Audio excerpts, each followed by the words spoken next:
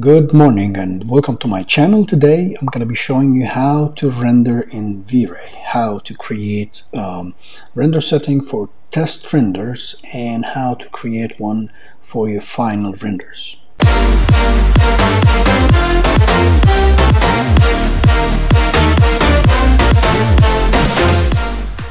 So let's get straight to it. To get to the um, V-Ray settings, you need to press on the F10 button on your keyboard or press on this button right here.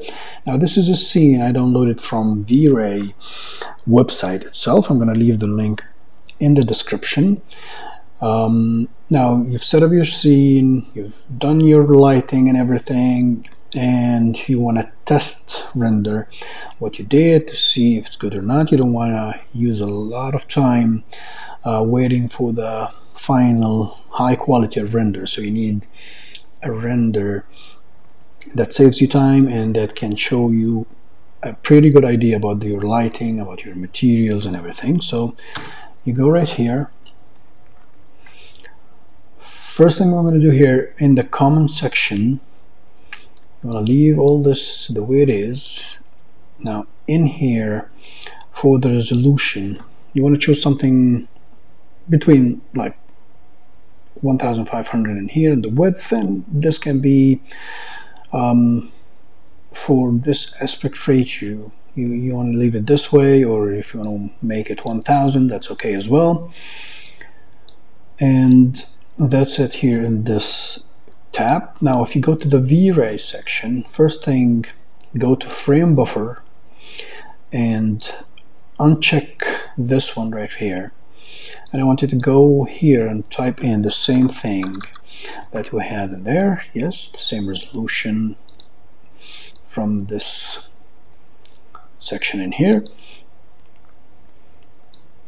Right?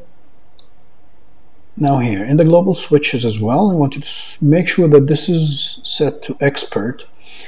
And I want you to first untick the hidden lights. Right and after this leave this as it is. In the image sampler you want to choose the bucket type which is a lot faster than the other one that we're going to choose for the final render. I want you to untick the image filter for the test render because this is going to take a long time and we don't want to do this now. So untick this one now in here, in the image sampler, we already chose that this is a bucket. So we wanna go to the bucket settings in here. Minimum subdivisions should be one and the maximum should be four for the test render. Okay, leave this as it is. And in here, in the global DMC, now in here, the minimum samples, you want to leave this as it is you want to go to subdivisions multiply you want to make that only one. Leave the adaptive amount the way it is 0.85 noise threshold should be 0.01 for the test render. The environment section you should change it depending on the scene that you have. If you have um, scene with any exterior or you have a V-ray sun or so you'll need to change these but this is um, not the topic here.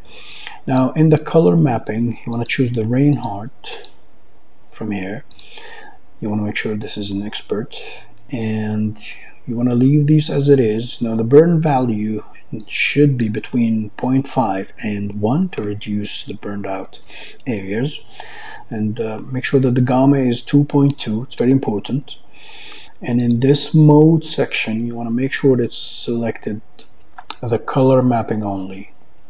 All right now this is it for this section. Now let's go to the GI now the GI is the indirect light that you have the global illumination you want to make sure you enable it from here. For the test render we will use the irradiance map as the, as the primary and the light cache for the secondary.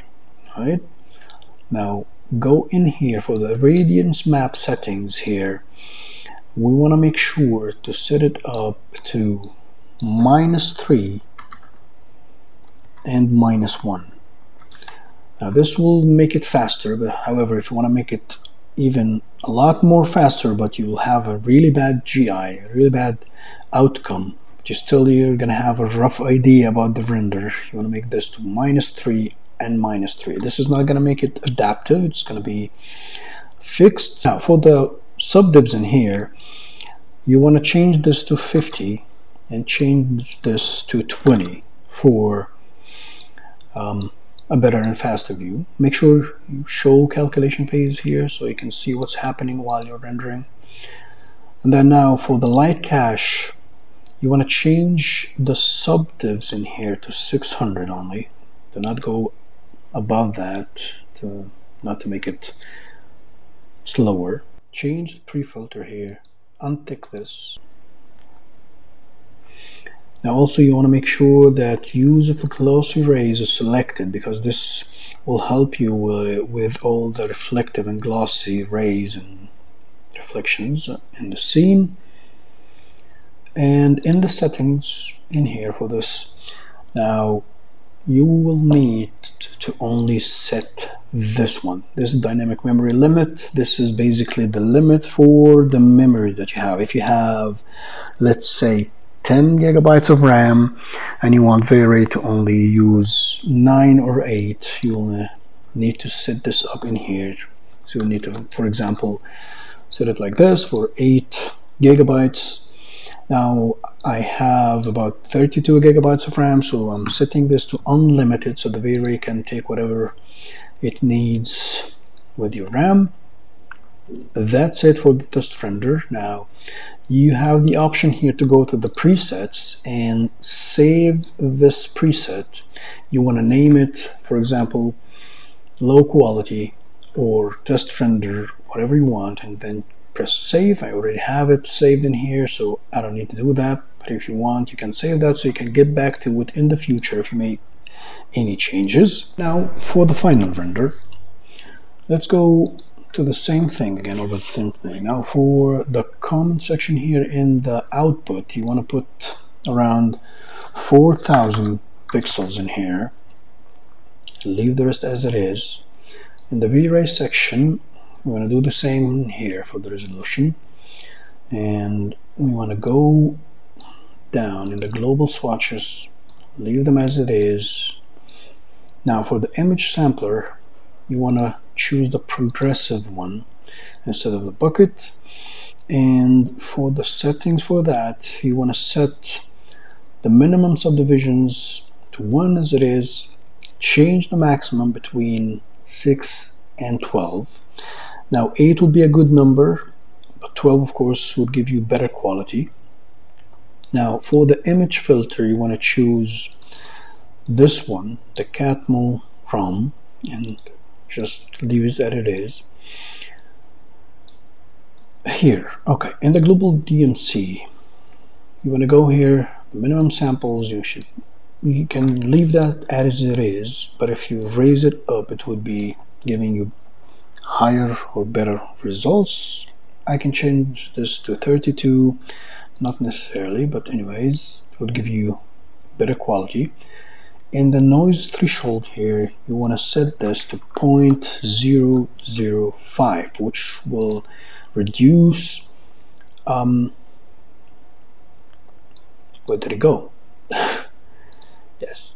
Okay here it is. Yes this will reduce the noise in your image drastically. So that's it. Now for the GI we're still going to use the irradiance map and the light cache in the irradiance map I want you to change this to minus 5 and this to minus 2 which will give you better results. Change subdivs to 80 or 90 change the interpolation samples to 30 make sure this is ticked. Now go to light cache and change the subdivs to 1600 uh, the sample size you can leave it as it is or maybe make it 0.01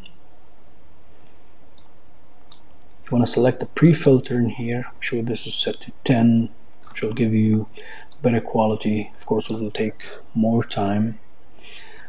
Now as for the settings you want to leave it the same way it was exactly. You want to make sure it's ticked you want to set the limit the way you want and keep it that way and that is it. Now with these settings on now you need to hit render leave it as it is. Now let's see the results. I had already done this. This is the final render in here. As you can see it took about 1 hour 11 minutes. And this is right here is you know the test render. As you can see there's a lot of noise the shadows are not that great not that sharp and it's a bit different in here. Shadows are smoother less noise better quality reflections and everything. But of course as you can see the timing is completely different. Now this one took 1 hour 11 minutes. Well this took only 3 minutes 20 I hope you enjoyed my video. If you like it press on like and if you want to see more videos in the future please subscribe and hit the bell icon. Thanks a lot. This was Sam